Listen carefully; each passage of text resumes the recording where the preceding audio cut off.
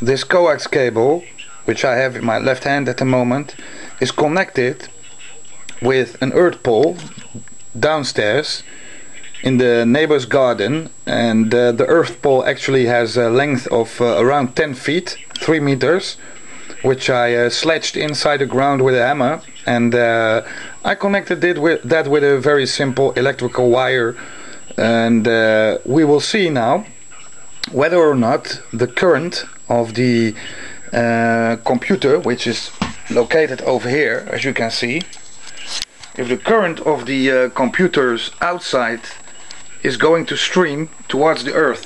I hope that we can see the yellow flashes. Just a moment. One moment.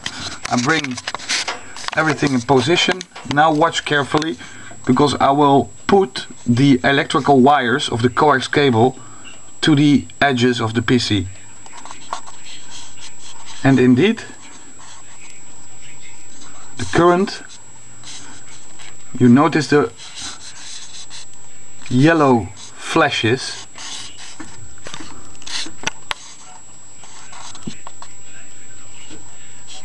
the current is streaming towards the earth pole which means that I can connect my Kenwood's line output with my PC record without any interference